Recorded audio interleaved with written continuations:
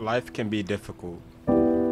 Friendships, relationships, our job, school. life is hard, bro. We try and we try and we try, we try so much. That's good. Never stop trying. But we feel like we're getting nowhere. We're stuck in the same exact spot, or so we think. Then something good happens, and then we get back, we get knocked back down again. So then we don't want to get back up because we know it's gonna happen again, right? Or we think it will. We have been knocked down for the millionth time. And we want to give up. It's just not going our way. We made a mistake. They're not listening. We failed.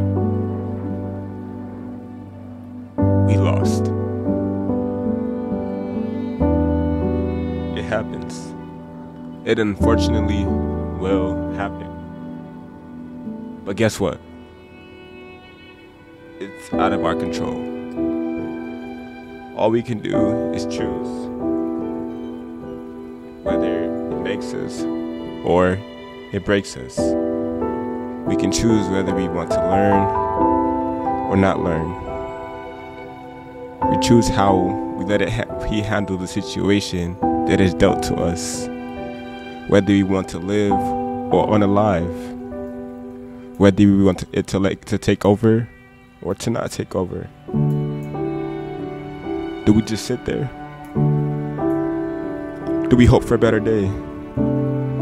Let it take over our dreams, our thoughts, our passion. I just want it to be me. That's all I wanted to do.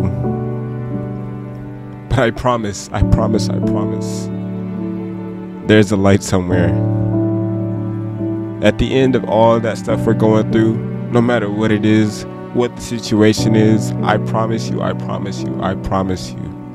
Somewhere in that situation, there's a light. Little do we know, we are that light.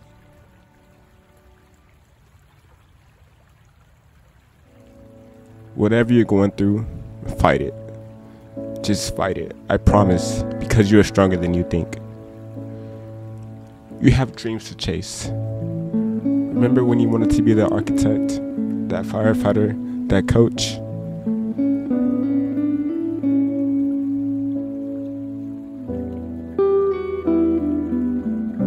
In a couple of days, months, years, one day you will smile at this day and be happy you kept growing, kept learning, kept pushing, fighting. You kept going. Be great, because there is greatness in you. If your best is 10% that day, then just give 10%. But don't give up on you. Don't let what happened in these couple seconds or minutes, perhaps that hour, don't let it devi- define you years from now. So now I ask you